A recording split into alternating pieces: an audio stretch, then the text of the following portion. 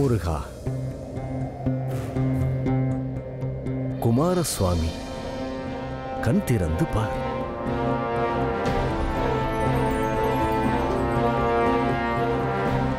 இந்த நேரத்தில் இங்குள்ள சூழ்நிலையில் உன்னால் தியானம் செய்ய முடியாது.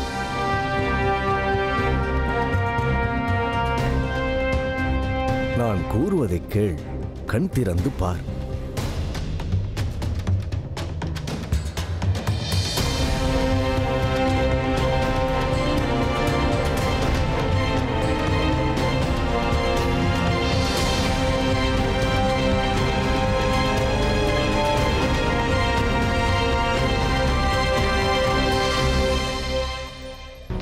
பணிகின்றேன் ஆஹா படைப்பு கடவுளான பிரம்மதேவரா என்னை இங்கு பார்க்க வந்திருக்கிறார்?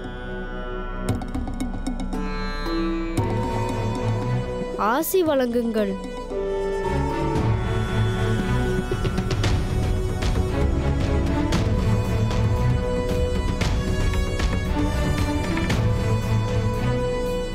என்ன இது?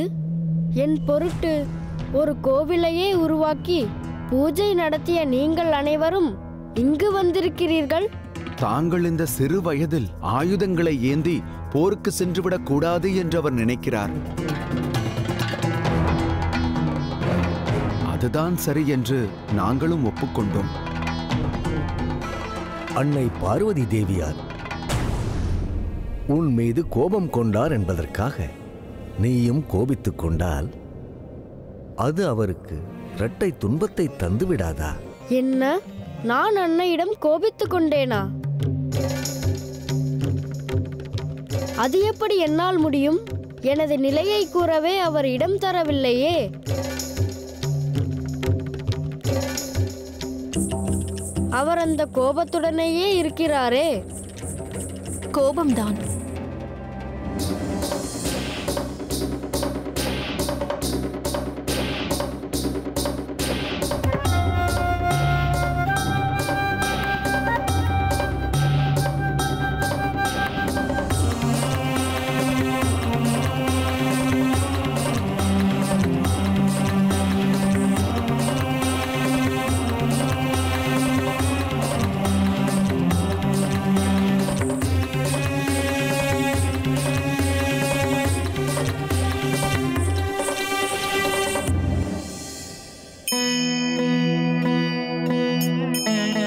எனக்கு உன் மீது கடுமையான கோபம்தான்.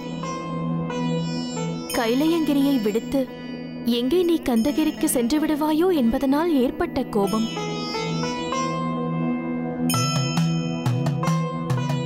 உரிய காலம் வருவதற்குள் அரிய ஆயுதங்களை பயன்படுத்தி போருக்கு சென்று விடுவாயோ என்பதனால் ஏற்பட்ட கோபம்.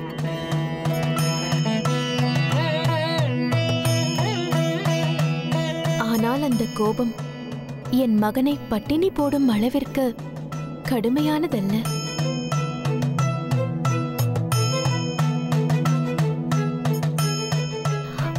அங்கு பார் உனக்காக நாங்கள் என்னென்ன எடுத்து வந்திருக்கிறோம் என்று.